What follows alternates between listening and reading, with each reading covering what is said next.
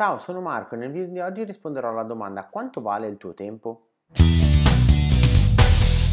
Spesso eh, questa domanda fatta, mi è stata fatta da miei collaboratori o eh, spesso appunto online, eh, anche liberi professionisti, anche miei clienti mi hanno chiesto mh, quanto può valere il mio tempo, nel senso quanto posso, quanto è, quanto può valere la mia tariffa oraria.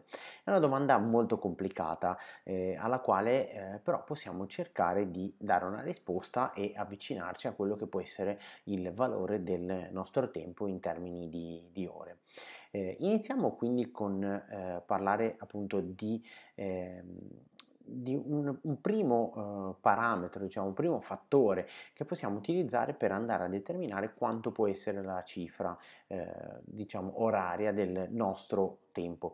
Perché appunto eh, spesso liberi professionisti mi, mi, chiedono ma quanto può valere la mia consulenza oraria? 50 euro all'ora 100 euro all'ora 300 euro all'ora la prima domanda che bisogna farsi per poter rispondere a questa domanda, scusate il gioco di parole, è proprio la seguente, è che valore porta al mercato la mia consulenza, il mio servizio, la mia ora di tempo che sto dedicando a quel determinato cliente?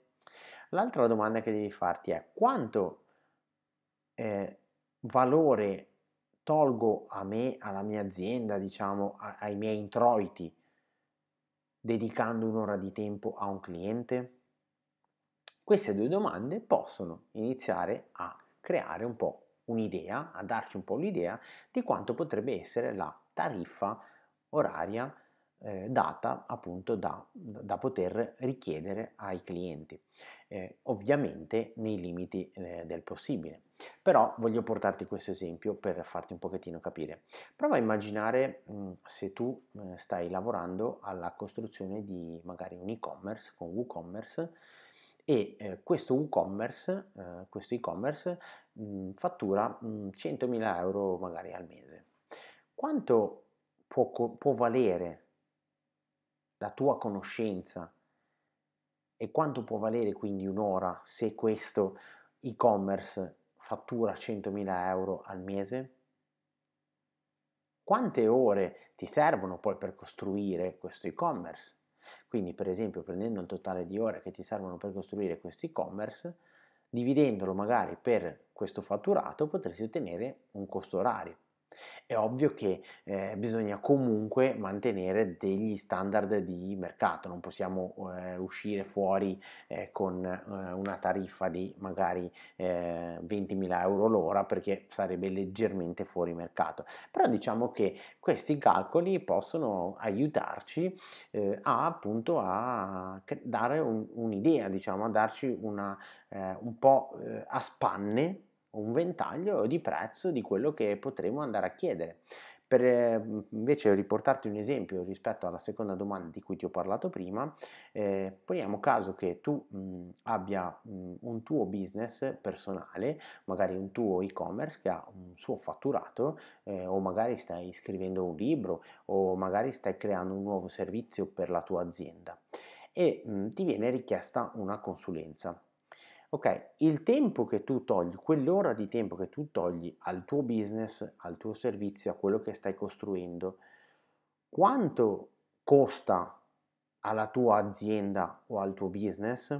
Quindi quanto eh, fatturato in meno può andare a creare questa, questo eh, utilizzo di questa ora, di queste ore di consulenza che ti vengono richieste? Anche qui otteniamo una sorta di dato che eh, diciamo può darci un pochettino l'idea eh, di quanto può andare a valere il tuo tempo, quindi quanto può essere la tua famosa tariffa oraria. Questi naturalmente sono soltanto eh, dei, dei, parametri, vogliono essere soltanto dei parametri, non sto dicendo che eh, devi effettuare obbligatoriamente la divisione di cui ti ho parlato prima, anche perché appunto eh, non è detto che tu abbia questi dati in mano, ma servono per renderti un attimino conto di quello che puoi andare a richiedere in giro eh, altra cosa che puoi fare, eh, esistono comunque online ehm, a volte mh, per, per, per, i vari settori merceologici, per i vari eh, appunto mh, per le varie categorie eh, lavorative esistono un po' di quelli che sono i salari medi magari de, delle persone assunte in quella determinata categoria o che sanno fare quel determinato mestiere, quella determinata conoscenza. Quindi da lì puoi tirare fuori per esempio un prezzo unitario che puoi andare a chiedere. Naturalmente potresti alzarlo un po' visto che eh, tu sei un libero professionista e anche altri costi a cui sopperire. D'accordo?